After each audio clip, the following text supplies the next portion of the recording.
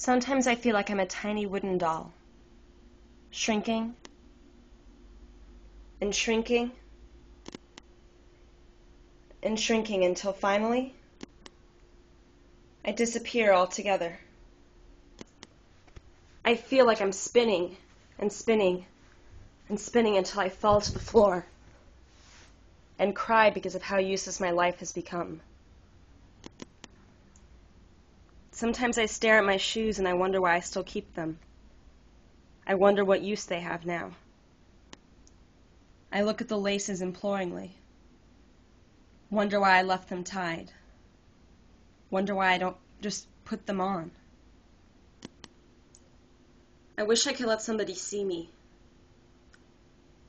I wish I could open my door and step into my hallway and wave hello to my neighbor.